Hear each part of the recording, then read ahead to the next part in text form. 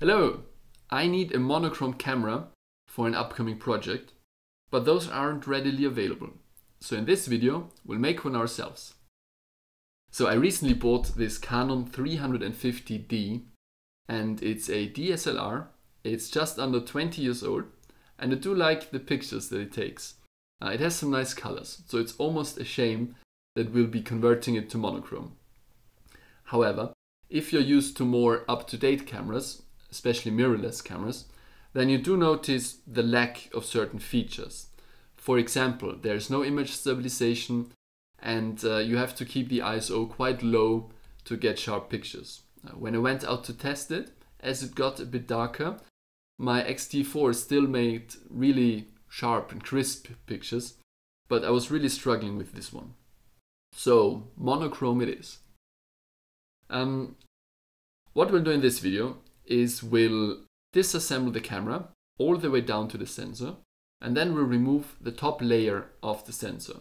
And that layer includes the color filter array, which only lets greenish, bluish, and reddish light pass through. So by removing the top layer, all light, like light of all colors, gets to the sensor, and we'll have a monochrome camera. I'm doing this manually by scratching off the top of the sensor. And it does feel really wrong to scratch on top of a sensor. I've seen some images, uh, some videos where they um, used a laser to burn off the top layer. And I'd love to do that, but I don't have a laser, so scratching it is. when you do the scratching process, you have to be careful not to put on too much pressure. And it's quite difficult to consistently put on uh, right pressure. So at some spots on this sensor I pushed a bit too hard and uh, the marks that those scratches left are a bit deeper. And you can see them on the picture when you zoom in all the way and when the background is, is quite consistent in, in its brightness. We'll have a look at that later. Luckily, in most cases, you can't see it at all. So what we need are a few tools. First of all, we need a screwdriver. A Phillips PH00 works really well. Then we need some tweezers. I use these two here. One has a slightly wider tip and one has a pointed tip. Some small nose pliers are useful for disconnecting two of the connectors inside. And we need a soldering iron for, for disconnecting one cover that's inside of the camera. Then we need to clean the sensor. And for that, I used uh, compressed air, acetone, and cleaning wipes. And of course, we need a tool to remove the top of the sensor.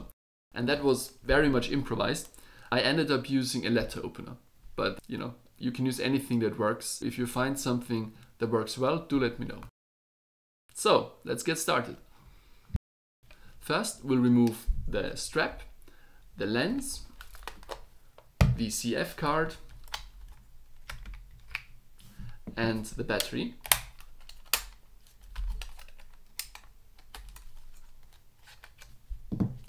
You can also take off this battery cover by pushing down on the little metal bar, take it off.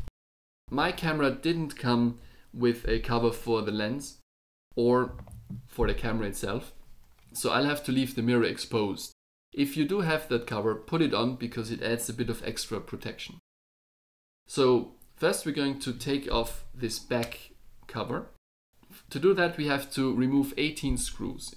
Here's a picture of all of them sorted by their size. There are six different types, from smallest to largest, I call them A to F. Uh, let's start by unscrewing those on the bottom.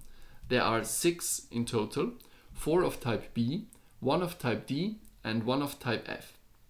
On the back, next to the viewfinder, there are two F screws. On the top, underneath the connections for the straps, there are two screws of type C and I found it easiest to remove those screws with a small magnet. Then on the front there are two F screws and on the left when looking at the camera from the back there are two E screws. On the right there are two C screws. Finally inside the card tray there are two screws of type A. There's another screw in the middle which we'll leave in place for now. Now you can remove the back cover and we don't have to use much force. It comes off quite easily with a bit of wiggling. Once we've opened it up, we have access to the circuit board, well, to the first circuit board. Let's remove the two cables that connect it to the back of the camera by using your tweezers and lifting up the dark part of the connector. Now we can remove the front cover. All we have to do is to slide a screwdriver in underneath this part and lift up. The front cover then comes off easily. Next, we'll take off the top cover of the camera. First, we'll have to remove these two cables, again by lifting up the dark part of the connectors. Then we unscrew this screw here. Then there are two connectors, one is in here and one is up there. Let's start with the one on the side. For this one, and for the other one, I'd use the nose pliers. It's very hard to remove it with tweezers. Now we can gently lift off the top. Be careful, because inside there's the second cable which we still need to disconnect. Okay, all of the covers are off. Now we have to remove the circuit board. And to do that, we need to remove the metal cover in the middle. This metal is connected to the board in seven places, which we have to desolder. If you have a desoldering pump, then you can use it to heat up and remove the solder. I found it easiest to just use a soldering iron to heat up the solder and while it's hot to gently push the cover upwards. So I did that once, like one piece at a time, and every time the cover lifted up a bit higher and eventually it comes off. Be careful, you don't want to damage the circuit board. This is one of the more cumbersome steps of the process. Next, we disconnect these cables, again by lifting up the dark part of the connectors and pulling out the cable. Now we have to unscrew six screws. There are four on the back, one on the side, and we'll also remove the one that's in the CF card holder. Once that is done, we can disconnect this red cable. To do that, we just have to push upwards. Now we can lift up the circuit board. It's still attached to the rest of the camera with one cable, so be careful not to damage it. And now we have access to the sensor. To detach it, we need to unscrew five screws. The two labeled A are small, the other three are a bit larger. So this is probably a good moment to point out the autofocus calibration of your camera. So when you press the main button, the shutter button of your camera halfway, then the, the camera moves the inside of the lens so that a point at a certain distance from the lens is in focus. And ideally, your sensor is located at exactly that point. If it's not, then your images will appear blurry. And by default, cameras should be calibrated so that the autofocus point is correct. However, if something changes during our conversion process, then we may have to recalibrate the autofocus point. And I'll show you how this is done at the end of the video. But just so you know, changing the autofocus point involves moving the sensor closer or further away from the camera, uh, from the lens, right? So either closer to the lens or further away from the lens. And the sensor is attached to this, to this moving mechanism with the three large screws that are labeled B on this picture. So if you change the autofocus calibration, then the sensor will be moved slightly up or slightly down. Okay, let's unscrew these five screws. When all screws are out, then we can gently lift the sensor. You may have to wiggle around a bit to get it out. Again, be careful, the three B screws have small shims underneath them. Make sure you don't lose these shims, and make sure you know which one goes where. Because without them, our autofocus point will be off. Let's have a closer look at the sensor now. First, there's this cover which we have to remove by unscrewing the left and right screws on this image. The next piece of glass we see here is the infrared filter. Normal cameras are designed to mimic the way we humans see, and our eyes are only sensitive to light that's in what's called the visible spectrum.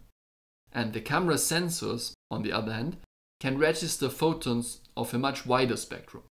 So to mimic the way we humans see, we need to block light that's outside of the visible spectrum. And this piece of glass here blocks infrared light, which has a longer wavelength than what we see.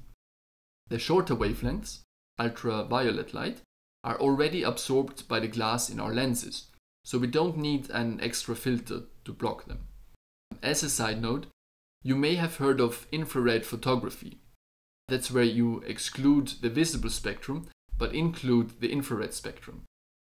If you want to convert your camera to an infrared camera, then you would replace this piece of glass here with one that only lets through infrared light.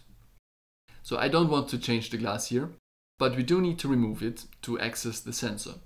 So let's unscrew these two screws here. The infrared blocker is actually glued to the casing with a piece of thin sticky foil. You'll probably have to use a knife to loosen it up.